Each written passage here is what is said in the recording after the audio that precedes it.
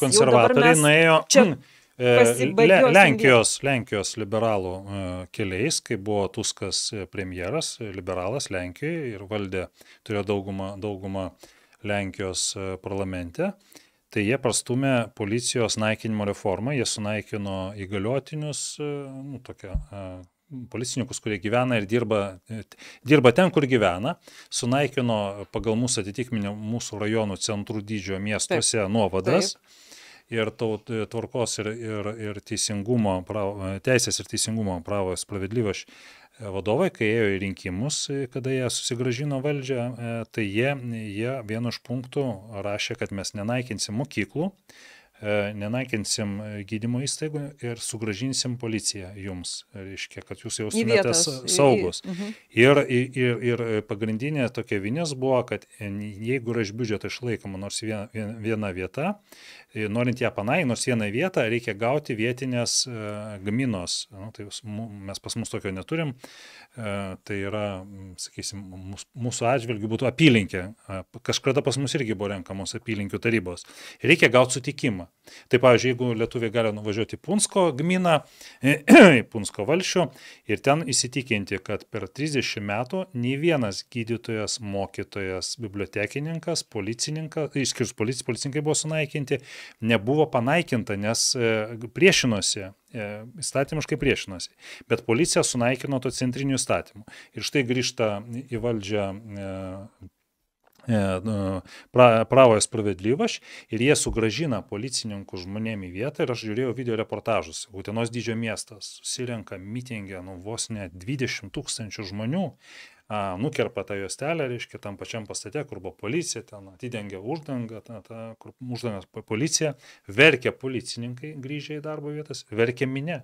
Taip. Verkia. Bet tai, verkia. Bet tai, tai čia, yra, čia yra tas čia, globalus čia yra... liberalistinis požiūris ir aš niekiek nebejoju, kad kadangi Šimonytė pasėmė Vasiliauską, kuris yra, yra ideologas ir vykdytojas kaip, kaip, kaip jos padėjėjas, kuris iš esmės naikina valstybės tarnybą, e, tai tokie ir čia Kubiliaus ranką atpažįstu, Kubiliaus stilių.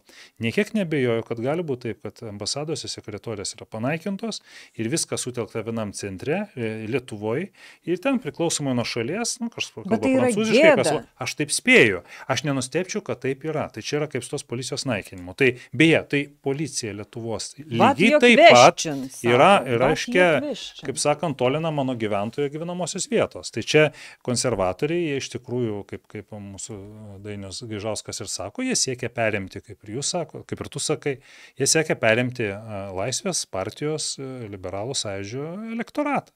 Bet jie yra visiški liberalai kosmopolitai. Jiem visiškai neįdomu E, turtingiam didmešių žmonėm visiškai neįdomu, kaip gyvena lietuviai kaime. Absoliučiai. O lietuviai kaime, kaip lietuviškai, nu, mes lietuviai, kai kurie blogi istorikai, blogai nusteikia Lietuvos atžvilgių, sako, kad lietuviai yra e, lietuviškai kalbantis rusai.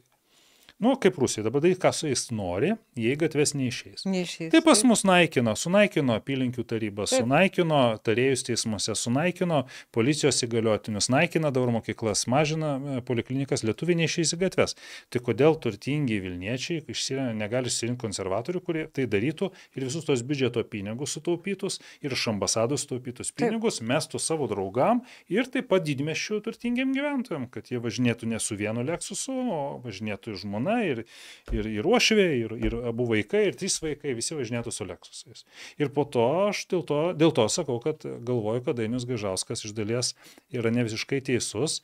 E, nebus vieno lifto, nebus ir dviejų, bus daugiau liftų, todėl kad turtingi didmešių gyventojams patinka patyčinis šimonyčių, Landsbergių stilius. Jam patinka, kad pinigai koncentruojasi didmešiuose ir jie, ta, būdami labai turtingi, tampa dar turtingesniais. Apie tai kalba keletas dar išlikusių sąžiningų Lietuvos sociologų ir ekonomistų.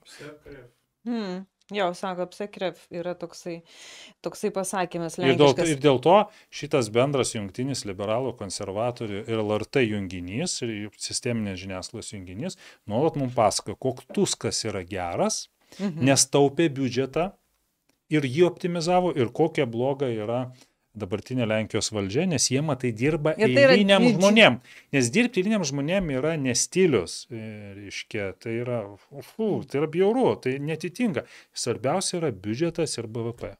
Ne, visur pasaulyje žmonės, o kubilizme kubilizme yra svarbiausia biudžetas BVP. Ir ką mes dabar matom pas konservatorius, tai yra visiškas kubilizmo reinkarnacija, čia gerai teisingai su, su, su, su Kirkilu dabar 2K, grįžta 2K, jo, Šitas jo jie, toksai- jie ruošiasi, jo, jie ruošiasi, nes daug... Negi Delfis sa- sugalvojo pats at, Taip. atgaivinti Ne, ne, Duką, tai čia tas kas yra, pilkųjų kardinolių štabas čia sugalvojo Taip, atgaivinti. taip, čia Ir čia jie iš tikrųjų gali projektuoja, kad jeigu jie užims pirmą vietą, tai socdemam pasiūlys daryti koaliciją. Jeigu socdemai su, užims pirmą vietą 24 metų Seimo rinkimuose, tai tada jie pasiprašys. Nes mes einam iš tikrųjų su tais Ateis- pirmalaikiais rinkimais, mes būtumėm turėję socdemus konservatorių koaliciją, kuri būtų gelbėjusi Lietuvą. O, o už jų stovėtų pilkiai kardinolai, o už pilkųjų kardinolų būtų kabinetas, kuriame susirinkę Nagi, privačių energetikos kompanijų Ir, ir, aš, a, savininkai. ja, ir tie akcininkai. pilkiai kardinolai, pagrindiniai, būtų tie patys. Jiems nereik, nebūtų Taip, tarybos taip, va, pilkųjų ką- kardinolų taip, socialdemokratų taip, taip. ir pilkųjų kardinolų konservatorių. Būtų, tie, nes iš principo yra tie patys. Taip. Tie, Tie patys žmonės, Kad, dai, ačiū, ačiū. Dainiui, kad pasakė visai, viešai visai Lietuvai. Praeitoj kadencijai mūsų koaliciniai, reiškia, Seimo daugumai buvo primesti keletas ministrų. Ne? Ir ministrų nebuvo dar tokių liberalių ministrų, kaip buvęs finansų ministras. Taip, nu, ultraliberalas. Taip. Taip. Ir socialinės apsaugos ministras, nu, beveik ultraliberalas. Nu, ne ultra, tiek to, liberalas.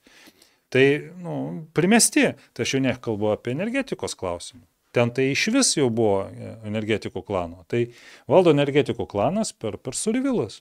Taip.